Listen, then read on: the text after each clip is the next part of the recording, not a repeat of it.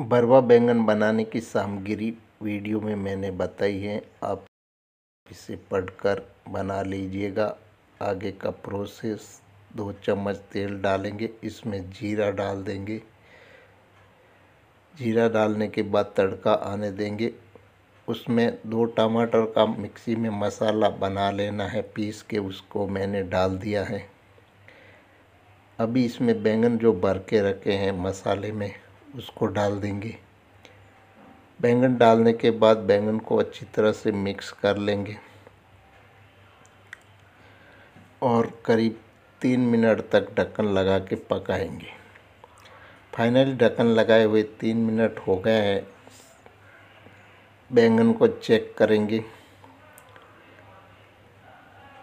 बैंगन बहुत ही अच्छे पक रहे हैं और इसको अभी पकाना बाकी है। अभी मिक्स कर लेंगे बैंगन को और इसमें थोड़ा सा और पानी ऐड करेंगे। थोड़ा सा पानी ऐड करने के बाद इसको करीब एक मिनट और पका लेंगे ताकि पानी का अच्छी तरह से मसाला बन जाए।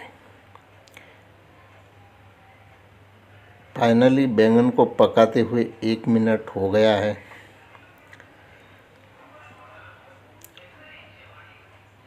और बैंगन फाइनली पक के तैयार हो गए हैं। अब हम गैस की फ्लेम बंद कर देंगे और इसमें हरा धनिया डाल देंगे। फाइनली बैंगन की सब्ज़ी खाने के लिए तैयार हैं। आप वीडियो को लाइक सब्सक्राइब ज़रूर कर दीजिएगा। धन्यवाद।